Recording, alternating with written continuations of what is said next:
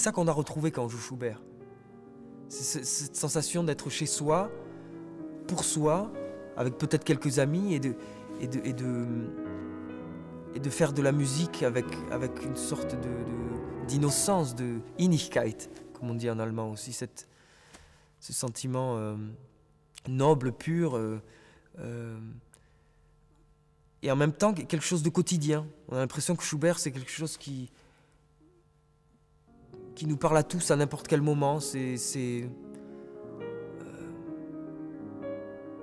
on a toujours l'impression avec Schubert d'une proximité particulière avec, sa figure. C'est quelque, chose de familier, Schubert. En tout cas pour moi. Et je pense qu'il faut que ça le devienne pour arriver à le sentir correctement.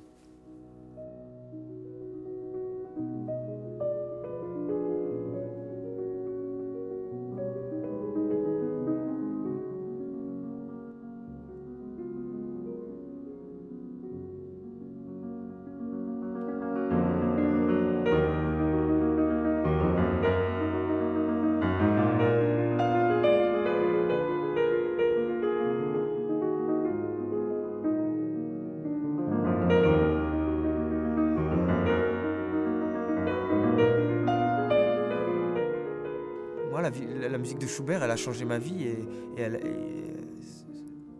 continue à changer ma vie tous les jours, à chaque fois que je la joue. Et mon but, c'est que c'est pas moi qui dois changer la vie des gens, parce que moi je ne suis que l'interprète, mais je veux que cette musique change la vie des gens qui l'écoutent.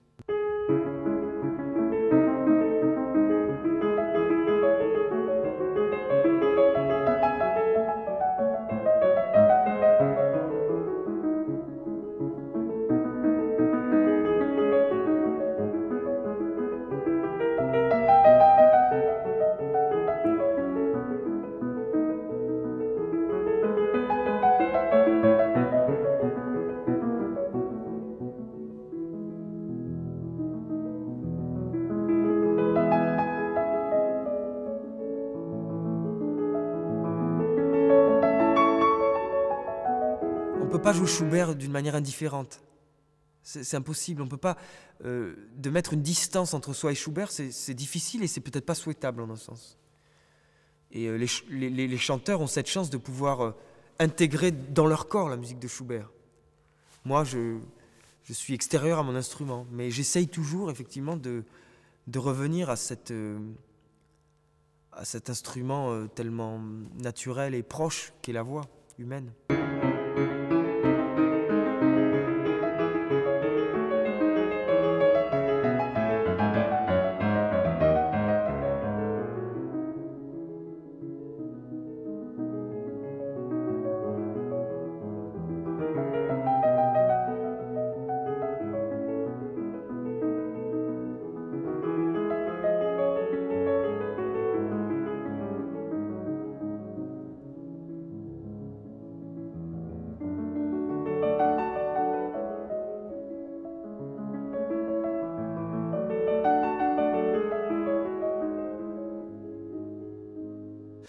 Le premier contact, c'était euh, avec un, un, CD. non, à l'époque, justement, les CD n'existaient pas encore.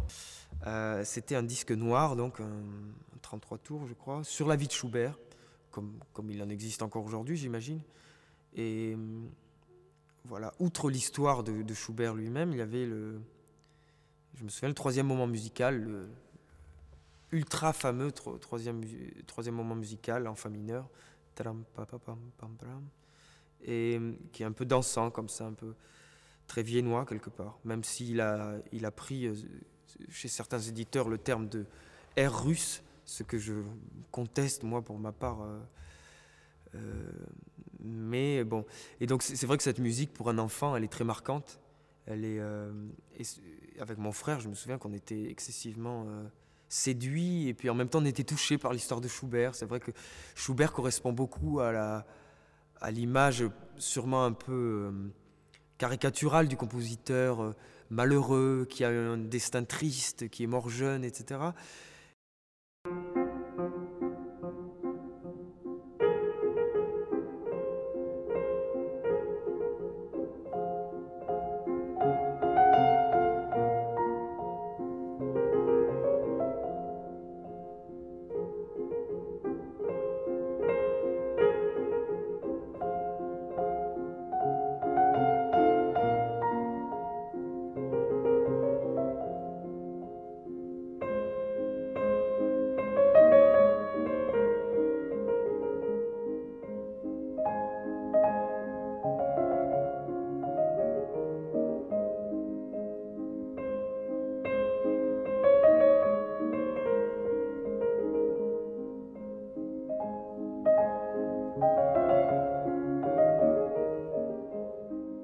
la, différence fondamentale entre un compositeur que, j'ai souvent pratiqué comme Bach et, Schubert, que je, joue aussi régulièrement, euh, c'est peut-être cette, sécurité qu'on a chez Bach.